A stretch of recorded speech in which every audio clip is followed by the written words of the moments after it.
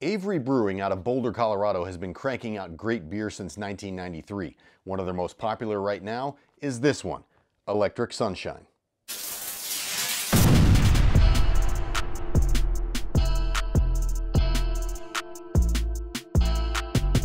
This fruited tart ale is their attempt at bottling a little sunshine.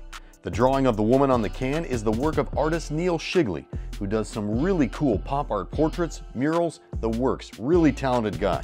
It's not based on a real person, which is what made me curious about the can, but it's still a cool design. Colorado has 300 days of sunshine every year, so this young lady has her shades on, reflecting the local mountains, and the sun has those lightning bolts for rays.